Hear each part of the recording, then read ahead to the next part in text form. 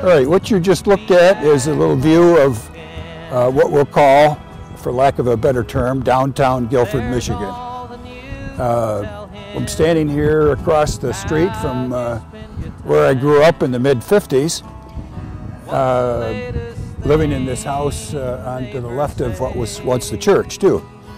So I thought I'd like to kind of document uh, that part of my life because there was uh, so many memories I have of those days.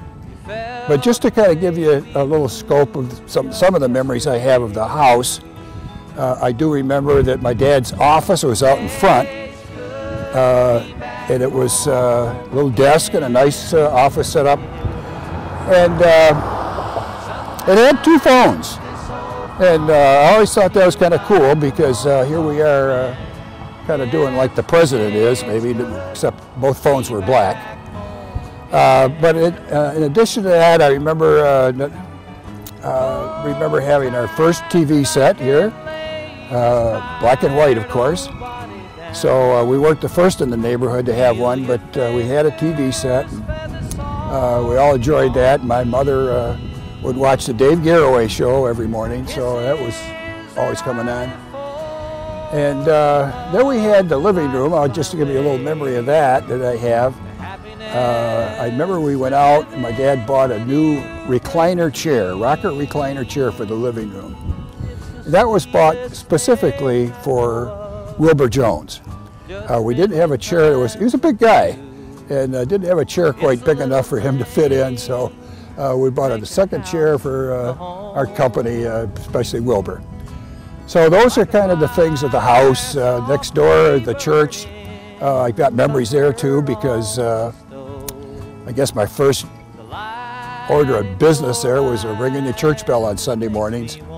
So that was my job at 10 till or whatever it was that was supposed to be rang. I'd walk over to the church and ring the church bell and thinking that'd probably give everybody in town the idea that, uh, hey, we're about to start church again. And if for some reason you didn't hear the church bell ring, you are bound to hear one of the 50 or 60 dogs that started howling uh, as a result of that. So uh, I guess some of the other things I remember is some of us guys uh, uh would play uh, our instruments in church uh, from time to time. it seemed like trust and obey was the, kind of the common theme. but the Lutzens and the Wermans and maybe Jerry Murphy was in on that. I can't remember who all did that, but uh, I know Ken Schmidt was too. And so that was a memory we had. But I'll tell you one of the best memories I have uh, of that would have been our Sunday school class.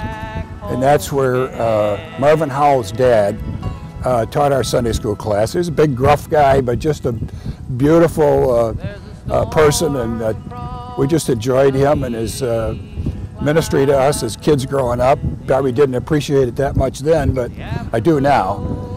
And so we were probably uh, maybe a little troublesome for him from time to time, I'm sure, but uh, those are fond memories I have of uh, growing up here in this house.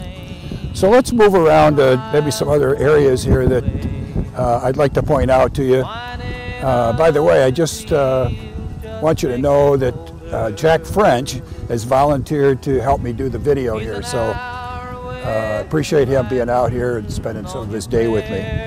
Okay, let's take a little trip uh, down the street here a little bit. We'll look at some other memories I have. Okay, well here we are again, uh, downtown Gilford, Michigan.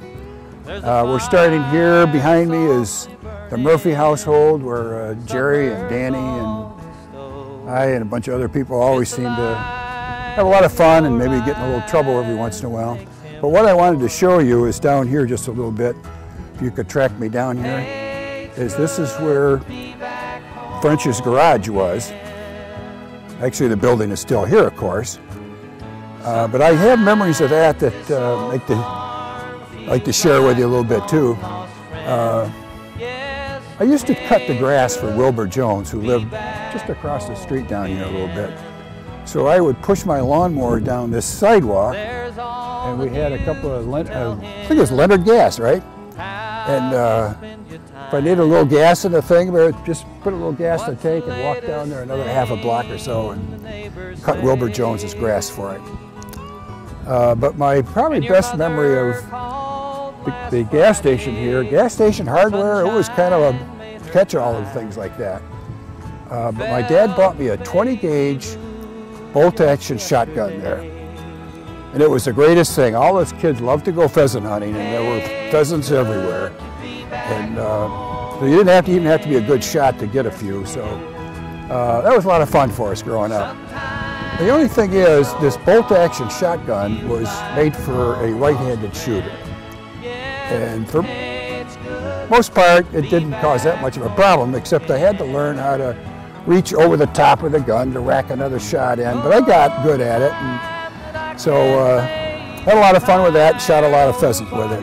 Uh, but what I'd like to do is, uh, since uh, Jack is uh, standing there uh, being my cameraman, I'd like to kind of ask him for a couple of his memories about things that he did here growing up too. I'm sure he has a few. So Jack, why don't you come right up? You can stand right alongside me. Tell me. I'll kind of point myself towards you so you kind of get a good shot at my microphone here. But uh, you grew up your whole life here, right? Yeah, So yeah. yeah. So what do you kind of remember most about? Playing ball in the middle of the street. okay. That, you remember that? No, I don't remember that so much. But do You you? had to get out of the way for the traffic. Yeah, through okay. Back out and play Yeah. ball. Or when the farmers were hauling peas to the factory, Yeah. we used to snitch them off the back end of the truck. Oh boy, you were bad. Yeah. well, I think you helped me. Okay. Yeah. But do you remember uh, during vacation Bible school, we'd come down here and decorate our bikes up Oh, and travel up here. I don't know whether we blocked off the road for that or how that happened, or how that worked. But Didn't take that long. no, it, no, it wasn't. But it was fun anyway, wasn't it? Did you work with your dad at all? Did he kind of have little jobs for you? To, Well, I worked in the station, yeah. yeah, up the messes that were left behind. Yeah. Janitor. yeah. Yeah. I didn't do much of the mechanic, but Yeah. So, but anyway, it's it's a fond memory for me, and uh, probably a lot of people just hung out there, coming for a place to oh yeah. shoot the breeze with each other. Um, but sold gas here and sold 20 gauge shotguns. So, all right. Well, thanks, Jack. I appreciate you helping out here.